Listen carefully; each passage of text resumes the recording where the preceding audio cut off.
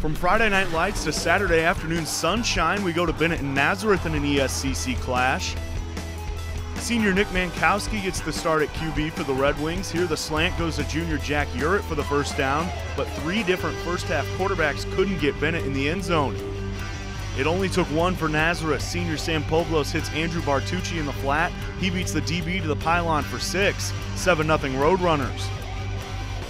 To the second, the young Benet defense played well throughout, but they make a costly mistake here. The pass interference on third and long allowed Nazareth to keep possession. Matt Ramsey boots a 25 yard field goal with the horn sounding. Nazareth up 10 0 at half. Junior transfer Kevin Weller was made eligible by the IHSA just one day before this one. He started out the second half two for two, but then threw two interceptions. The second one proved to be costly. Joseph DeSimone goes 55 yards for the pick six. Benet gets shut out in week one.